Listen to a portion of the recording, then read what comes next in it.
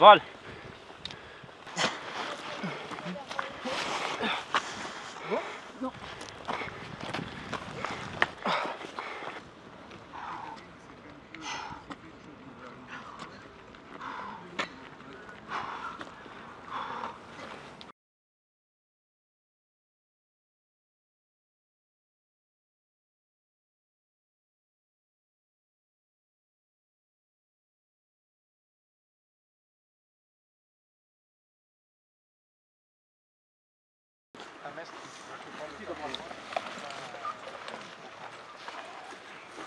Tu vas voir le caporal Nest.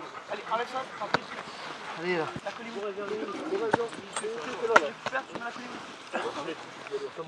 Voile 34, ce que t'as, et tu mets dedans, ok Colibri ici après. Enlève bien le. Oui.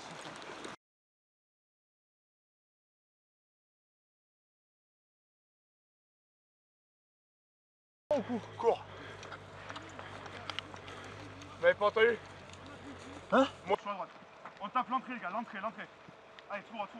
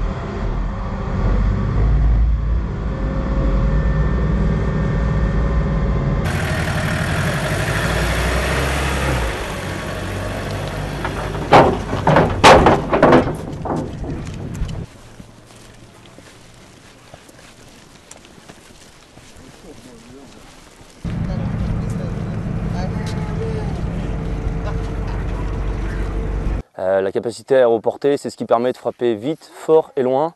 C'est un outil de combat unique euh, pour l'armée française, puisque c'est ce qui permet de s'affranchir euh, des limites spatiales et de frapper sur les arrières de l'ennemi. Bah, L'avantage de ces exercices, c'est que ça mobilise les trois armées, armée de l'air, la marine, l'armée de terre, les commandements cyber. En fait, beaucoup de, forces qui s'entraînent toute l'année, chacun dans leur coin, et petit à petit, on monte le cursus d'exigence de ces entraînements jusqu'à euh, travailler tous ensemble. C'est un peu comme une équipe de, rugby ou de foot US pour vous. Il faut que l'attaque et la défense travaillent ensemble après avoir travaillé chacun dans leur secteur euh, respectif. Euh, Aujourd'hui, on est en train de faire un débarquement de, troupes terrestres qui sont embarquées sur deux PHA.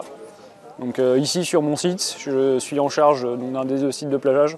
Je m'occupe de compter les engins et de m'assurer de la sécurité du lieu. Ça fait partie des compétences euh, des armées françaises. Euh, on est là pour s'entraîner à faire de, l'amphibie. Euh, c'est une compétence qu'on ne travaille pas forcément très souvent. Donc aujourd'hui, c'est un exercice privilégié qui permet de faire travailler à peu près 700 personnes. Je pense qu'aujourd'hui, l'armée française, elle est amenée à travailler en permanence avec des pays étrangers. La coopération, c'est quelque chose dont on ne peut pas se passer.